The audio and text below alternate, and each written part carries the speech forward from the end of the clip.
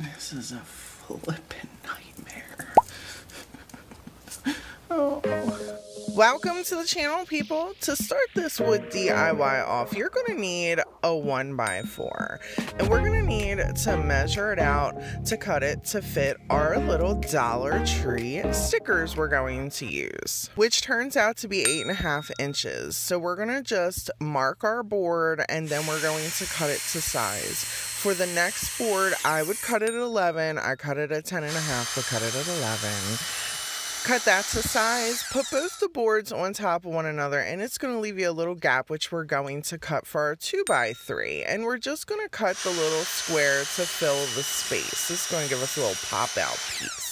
Then we need to make a little stand, so just cut you a one and a half inch off your two by three. Now it's time to get down to business. I hate all that petty stuff, but you know, you gotta do it to get to this part. Here's our little stand, and we're gonna glue it. So here's the other petty part of like having to glue and nail and all that, but we gotta get these pieces to stick together and we need to be patient, people. I know it's rough. I know, I completely sympathize, but we gotta do this, okay? So we're going to hot glue these these together, or not hot glue, we'll glue these together. and then we're going to use our nail gun when it wants to work for us. See that light blinking? Yeah, the battery was dead. if I had a clue, I would have made sure it was charged before the video, but you know how that goes. As I was miring my work, I decided I was going to just smoosh in all the wood glue and then put on our little stand. I did not have any brad nails long enough and I could have drilled a hole and then put in a screw, but I figured it's a little piece, it's a little decor item. So we should be able to put some wood glue and then put a clamp on this joint and then let it sit overnight and be confident enough that our piece is not going to fall apart. So the next day after this dried, we're going to add in our little piece using a drill bit and a wooden dowel. And with this, you want to make sure your drill bit is slightly bigger than the dowel, but see how this little 2x3 just fits in that little corner right there there's no really perfect system for this, but I wanted to create a definite connector. I guess that's a good way to put it. I wanted a definite connector in there than just a wood glue. So I created a hole you know, beautiful little hole. Make sure it's deep enough, not very shallow. And then get all your little bits out there until you're done measuring everything. I like to add some shavings back in. And of course, you know, when you make mistakes like I did for this, I actually put the hole too far over, which is not a big deal. If you do that, here's how you're going to fix it. See how they're you know, I had to drill another one like right next to it. You just take your wood shavings, pack it on in the hole you're not going to use, and then when you put your dowel in with your wood glue, it's going to still hold anyhow, and you won't even mm-hmm. realize it. However, don't do this. My little I mm-hmm. left the lid open wow. on this and it was all dry, so I thought let's pour it out.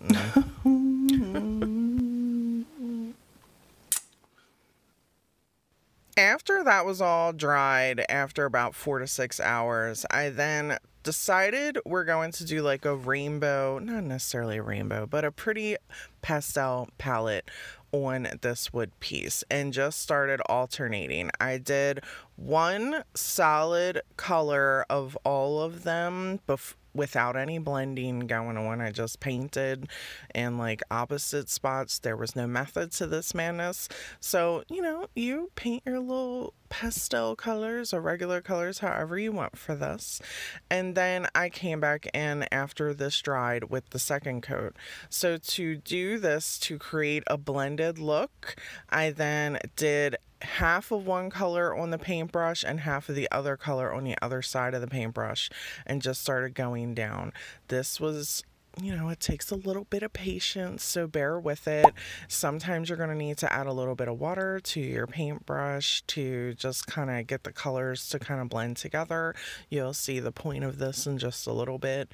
Now, if you don't want to blend it, you go right ahead, but I felt like the blending was necessary. So here's an little actual, you know, half yellow, half pink, and then you just go down and see how it starts to just pool the two colors together and create a really smooth blend. Once that dried, we're now going to use our Dollar Tree stickers. I thought, you know, I hear creators and even I have said, you know, use your Dollar Tree stickers, you know, if you don't have Cricut, blah, blah, blah. Don't do it, people. I'm here to let you know don't do it, don't do it, don't do it for this.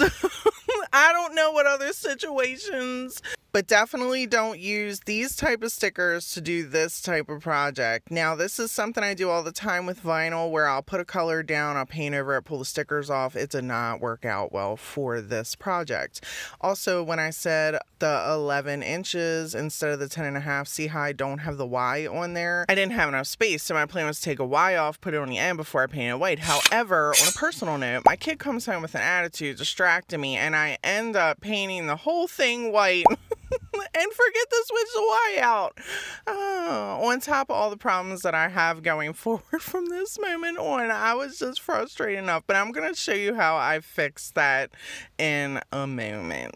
But before we do, it was so wild how these stickers they like completely absorbed the chalk paint.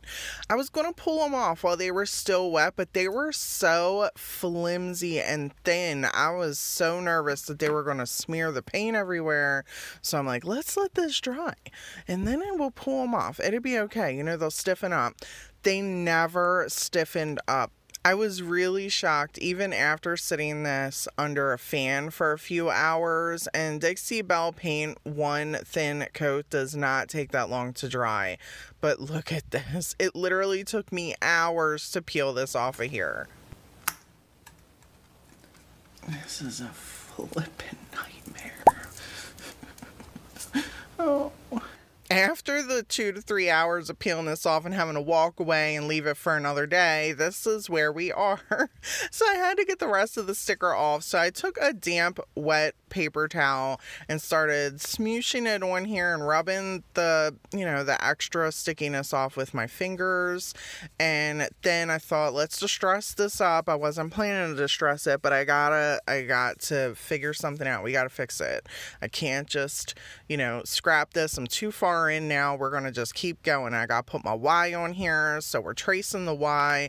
I got to get this chalk paint off. So let's start wetting the Y. So I wet the chalk paint up, which is kind of like reactivating it a little bit, and then started to scrape it off. And remember how I said earlier, you'll see the point of us blending. You can see like how in the letters showing, like the paint looks very smooth together underneath. There's not like harsh lines Everything's very nice and blended together. I came back in with my white paint and started going around all the letters to fix as much of the paint and the sticker damage that I could possibly fix. Once I was finished with that, I decided that we're just going to have to create highlights in this. It was not initially the look I was going for, but I'm super happy that I ended up doing it.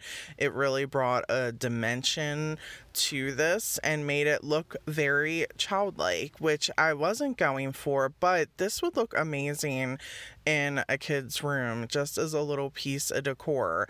And honestly, I'm always telling my kids, you know, little happy, positive things. And this is just something I could see me putting in one of my girls' rooms.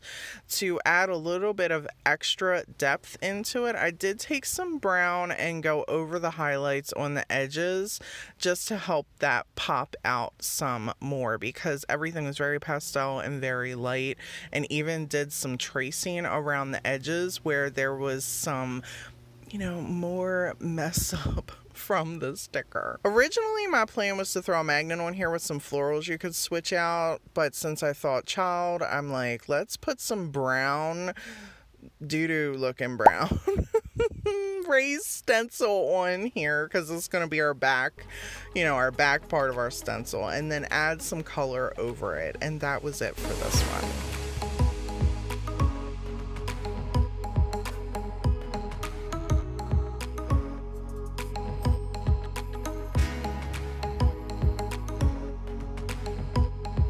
for this next one, we're going to need a one by one and cut it to 12 inches. We're gonna create a little coffee cup holder with just using a stick. And for our base, we're gonna need this one by four. I mean, are they ever really what they say they are? I don't think so. but I'm cutting it to about five to six inches really this is kind of your preference with the size of your base. I knew this is for my mama. I knew she was using big coffee cups for this. So I scaled up. And then I'm taking this one by three and cutting it to a square so it's like our little base that's going to go in the center of this. So first we're going to take the two larger pieces, put them together, and then we're going to just hit them up with some wood glue, smoosh it all down in there, rub it really well, and you're going to want to clamp this together or set them, you know, on something with something very heavy to hold them together. Here's a here's a clamp. Look at me. Look at me helping y'all out. Look at this clamp. So once that dries, you're then going to want to measure your square so we can get it as centered as possible and then glue this down so that way we can clamp this on top of the other piece. Yeah, there was a lot of drying going on around here, people, okay? A lot of patience, a lot of drying whenever we're using wood glue and clamps. There's a lot of it. At the bare minimum, I try to let it dry at least four to six hours before I attempt anything like this, but this was a next day event. Again, I'm using a dowel and a drill bit and we're putting a hole in the bottom that's going to attach to our base. If you wanted to use a drill bit and go up through the bottom with the screw, you're completely welcome to do that. I didn't have a screw long enough. To find the center, we're going to just make a cross X pattern to find the center and drill straight down. And then we're going to cut our dowel to size so it fits in our holes and wood glue it on up and then let this dry. Now, if your dowel is a little loose, feel free to put some little shavings in there. You're not hurting nothing. All it's going to do is just add to that stickiness. And as you can see here, I was not afraid to just lather it all over. like abundant amount and more drying of course. 90% of the hardware in my mom's house is silver and i didn't have any silver hooks so i'm just going to take Dixie Belle's gilding wax and go over all of these and i even do that with the screws once i screw these in. See how it just turns them silver? I think there's also something called buff and rub that does a very similar thing but I use Dixie Belle and this is magnificent. So it's what I use. Here's our little knob that I got from Hobby Lobby on clearance for 99 cents. The little leaf part is a dark blue. You cannot tell it by looking at it but it is a dark blue. So we're going to take some stencils that I had on hand, mix up some black and some mountain blue paint to give a dark blue, and then we're going to just add our stencils on here. And I'm gonna stipple it on here light and dark in different areas to give it a very French country type of look. And I'm not going to bore you with a ton of stenciling but I did want to show you that you can take because one of the things that I did do with these stencils because they are very like stiff plastic type material is I did use them to wrap our little pole that we have going on here. So once I get to this part, and look how pretty it is, I first mark where I am going to put our little cup holders and then I take the plastic stencil and I start to press against the pole in a very, I don't use no painters tape anything because I want this to be able to move. See how I'm pressing it now to the other side? You can literally move and turn this as you go. And if you do not, this is a great little technique. If you do not have vinyl where you can absolutely lay it on there and you're doing something that has actual corners and curves, you can slowly move the plastic stencil to work for you. When I was all done with that, I then drilled a hole in the top and screwed our little knob piece in. Once the paint dried, I came back in with a Sharpie oil marker and added some of those black highlights just to give the stencil a little bit more of a pop. And that is it for this one, people.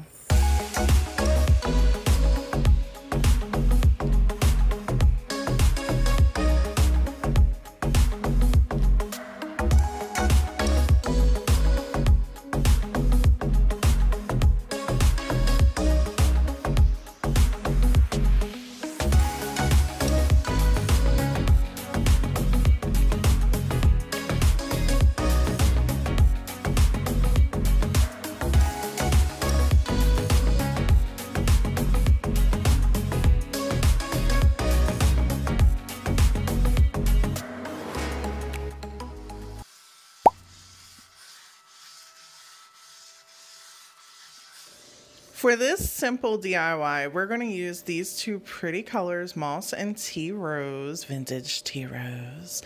And you're just going to cut two pieces of 4x4 and these are roughly one and a half inches thick. Not exact but you know i sanded the sides down figured you've seen enough of me cutting in the video so i saved you this part. You're welcome okay? Get a 4x4 from home depot or lowes and you know cut it down to size. Then paint each one a color you know let them dry and then i did sand these down to give them a little bit of a rustic look and I used a 220 grit sandpaper for this. The reason I didn't go lower is because I didn't want it to create like gouges and scrape marks in my wood pieces. And the lower you go, the rougher the sandpaper. So I feel like 220 is a safe bet. I am mixing, we are out of white acrylic paint. I'm mixing white acrylic paint with some spackling. We're to create a raised stencil on these two little blocks. And that's all we're doing for this.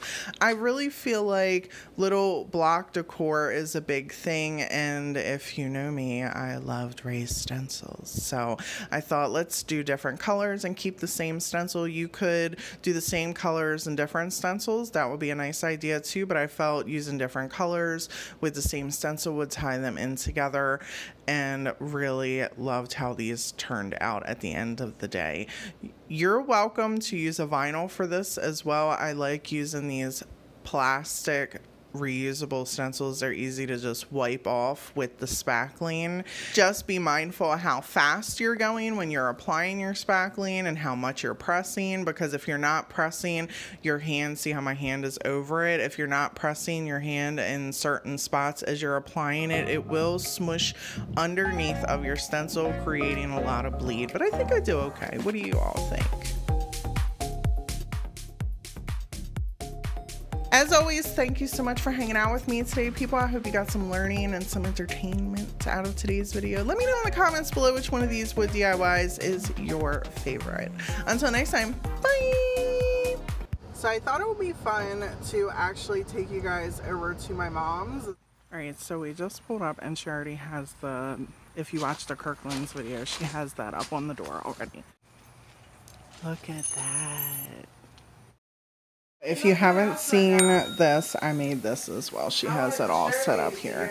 It's going to be loud, so it is what it is. It's real life. Look, here's this. I made this as well. And then here is, remember I said in the video, if you watch the long one, she has that too. And this is another thing that I made that I, I didn't make a video of it, but I painted this for her. And she keeps it out on her entertainment center. There's the books. Look, the browsing video, remember at Target if you watch those. I said she got two the little blue pumpkins. So in her, if you have not watched my, we did, um, we made, let me show you some of it. So I made this in a video and a bunch of other little things. They had a laundry room, a bedroom turned into a laundry room. So this is her little coffee bar area. She's been working on getting little decor pieces for. I posted this on Instagram the one time, but she got little so it matches with everything.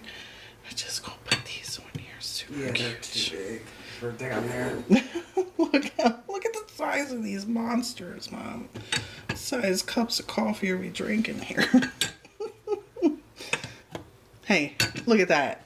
It fits. It does fit. Beautiful. Look at that. It's so pretty. Yeah, that's great. That way it's not taking up my cabinet I love it. It looks beautiful.